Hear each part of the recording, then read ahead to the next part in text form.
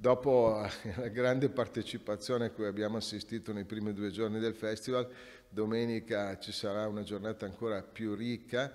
e cominciamo sempre al mattino con questa dimensione anche di piacevolezza e di valorizzazione dei prodotti enogastronomici del nostro territorio, della cucina storica, in questo caso della pasticceria dell'Ottocento piemontese lombarda, quindi col breakfast in museo che è abbinato a una visita guidata tematica del nuovo museo manzoniano che come ormai penso tutti sanno è stato completamente riallestito alla fine del 2019.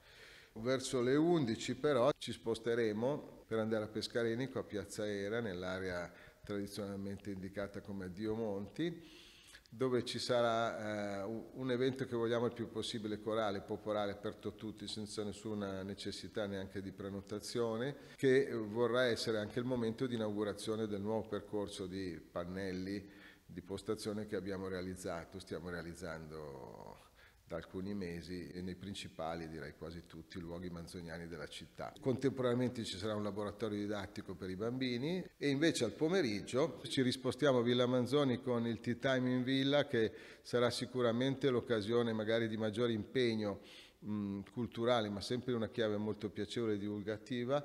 eh, allietata dall'intervento di una bravissima attrice lecchese, Giusiva Sena, che leggerà brani di un romanzo, romanzo che è appunto l'argomento del primo incontro, eh, uscito da poco tempo, che si chiama Caterina Medici di Brono, di Broni in realtà voleva dire, scritto da, nel 1831 da Achille Mauri, che era un, un giovane eh,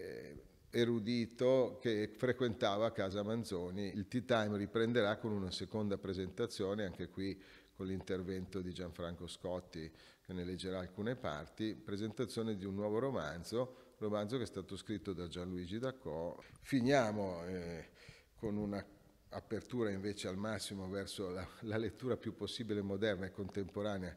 del, del, patrimonio del pensiero di Manzoni con, ai Cappuccini, al Teatro dei Cappuccini, eh, con l'incontro con Morgan, che ci racconterà il suo modo di vedere Manzoni e di riecheggiarlo anche non solo con pensieri e parole, ma anche con canzoni e musica.